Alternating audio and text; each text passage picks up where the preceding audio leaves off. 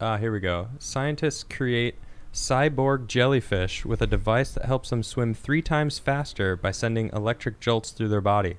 I'm sorry. This is one of the Why? stupidest stories I've ever seen. Why? Why? But I was so excited by it. I, I was I was I was insistent that we would actually read it. So so scientists for some reason thought that we should take a jellyfish and give it motorized locomotion to increase its speed. Why? I just don't understand Don't why. know either. They their life is just floating along. That's They're barely life. alive. They're barely life. They're just like this They're is turtle. my life. They're turtle food. I'm enjoying let's, myself. Let's let's put engines on them. right. Wait. No. Read the story. No, hold on. So, I- I'm curious. I guess I should just read it. See. What is this? The team designs a microelectronic prosthetic that helps the creature swim three times faster um, than their unmodified counterparts, while using less metabolic uh, m- metabolic energy. The device is about two centimeters in divi- diameter, and it is attached to the body with a small wooden barb.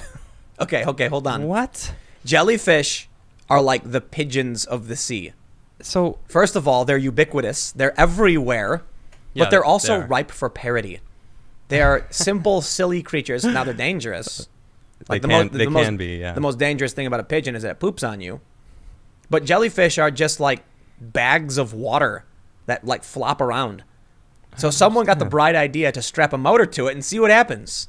Well, no, no, read it, read it, read more. Explain to us. Uh, Oh Let's go on. Let's explain. says, How does uh, the jellyfish engine work? The researchers involved um, involved the product plan to equip the jellyfish with sensors so they can explore and gather information about the ocean. Oh, it So- actually makes sense. Okay, so they're turning them into little, like you know, That's kind of creepy. That's creepy though, man. It's kind of creepy. yeah, but why, why mess with the jellyfish? I don't understand. It's like they're not robotic. They're not cyborg. Well, look, no, no, it's they're, simple. They're actual jellyfish. So here, here, here's the way I see it now. Now, now I kind of understand. See, we, we, we jumped the gun on laughing at the scientists and their stupid jellyfish project. They put the sensors on the jellyfish. The jellyfish can then collect information as it floats about. The problem is they're too slow. So they need to give the, the, the jellyfish electric motors to become cyborg jellyfish that could swim faster and collect information faster. I honestly don't think we'll get a full segment out of this story, but it was so ridiculous. It's it's ridiculous. I couldn't help. I, I couldn't help but laugh at the stupid idea of a, a motorized jellyfish. So it says here, uh, the lead of the study says only five to ten percent of the volume of the ocean has been explored. So they want to take advantage of the fact that jellyfish are everywhere already, to make the leap from ship-based measurements, which they're, uh, which are limited in number due to the high costs. So uh, you know, I guess Have- it, have it- you- it's you making more sense as we. Do you watch Rick and Morty? I, I have seen a lot of, of the show, but I You, you see the you see the one where he puts the cap on the dog and the dog becomes smart. yes, I have Yes. seen that one. Look what hell you hath wrought, scientists. You will regret this day when the jellyfish uprising occurs. But you know what's actually creepy about jellyfish? They're pretty incredible.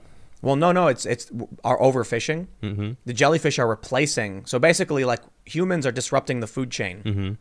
and so we're fishing out all of these fish that typically would like eat jellyfish. Yeah. And then when the fish are gone, the jellyfish just keep reproducing and then start taking over. Mm-hmm. This is where it gets gross. Now people are eating the jellyfish. I guess nature finds a way, right? I mean, is there nutrients in them? They're basically bags of water. Then why are you eating it? Well, I don't know. Why do you eat iceberg lettuce?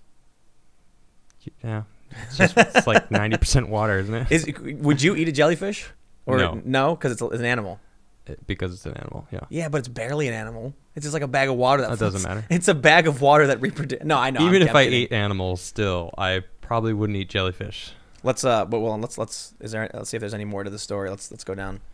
They say uh, if we can find a way to detect those these jellyfish and also equip them with sensors to track things like ocean temperature, salinity, oxygen levels, and so on, we could create a truly global ocean network where each of the jellyfish robots costs a few dollars to instrument and feeds themselves energy and from prey already in the ocean. I, I, I gotta say, I gotta stop. I feel really dumb making fun of their jellyfish motors. Me too. This sounds really smart. It does. It's like, why should we build a bunch of robots that float around the ocean? When there's things that float around the ocean already. Yeah, Just you know, boom, you know, was one of, little- you know, you know, was one of the funny, one of the funniest things I ever, ever heard about the ocean was from Joe Rogan Uh huh.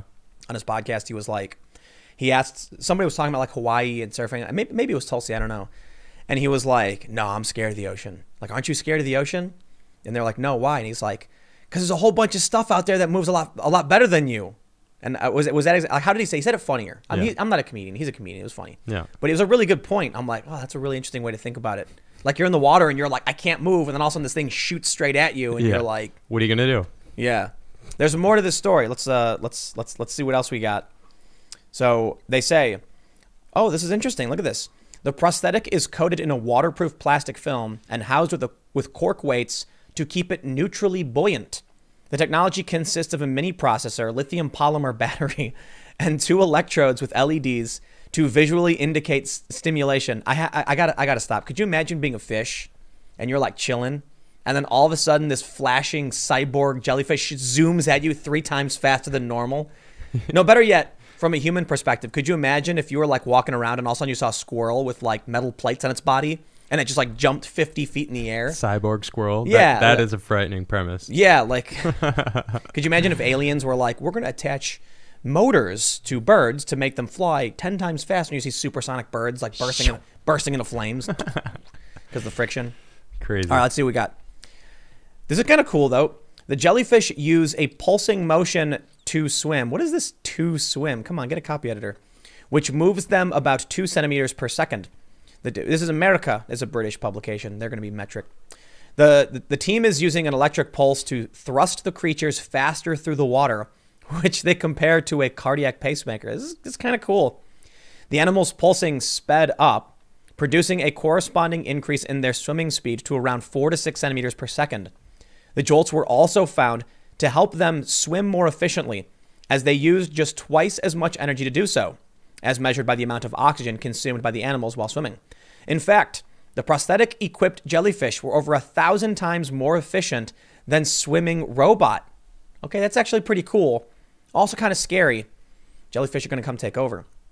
We've shown that they're capable of moving much faster than they normally do without an undue cost on their metabolism, Xu says. There's more to this. This story is ridiculous. Uh, this reveals that jellyfish possess an untapped ability for faster, more efficient swimming. They just don't usually have a reason to do so. so what? They're doing inefficient, slow, uh, whatever. You know, uh, uh, there's actually a funny point made in Bee Movie, classic Bee Movie.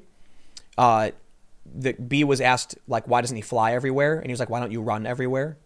And I'm like, that's a good point. Like pigeons are hilarious because they just kind of like hobble. Yeah. And you're like, dude, you can fly. It's like, yeah, but flying is exhausting, man. Like, do you run? No, you just walk. You don't gotta fly. Yeah, let's point. uh, let's let's wrap the story. I've never seen Bee Movie.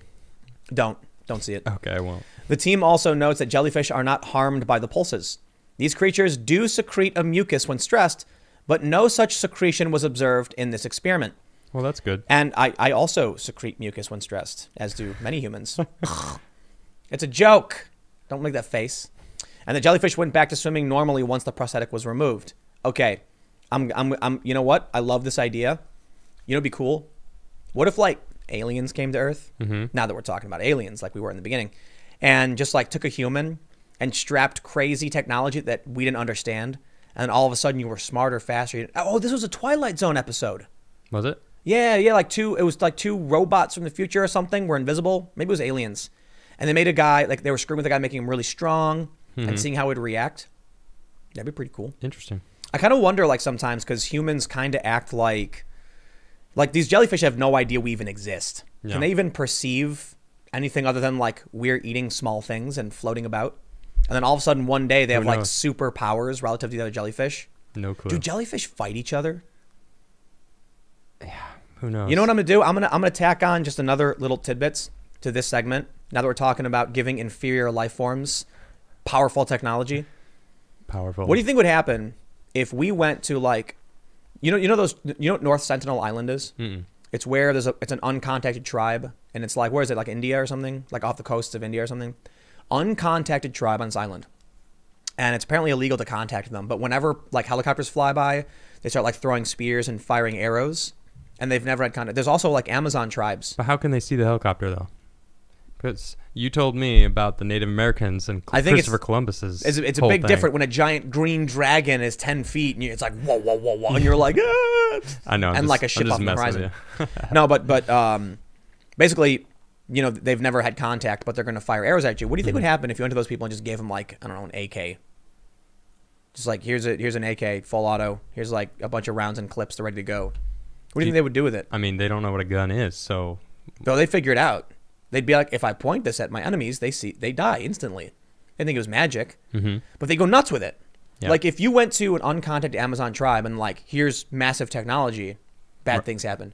It's so so basically, I bring this up because like talking about aliens, Mm-hmm. why they wouldn't come and grant us technology overtly is because if you give a human ridiculous powers, they're gonna get corrupt with it. You have to you have to allow the culture to evolve into the tech. So like okay, Think about it right now. If all of a sudden an alien came down and they said, "Here's this bracelet, and when you wear it, you can point at anyone, and they'll just boom, they cease to exist. No evidence, nothing, just gone."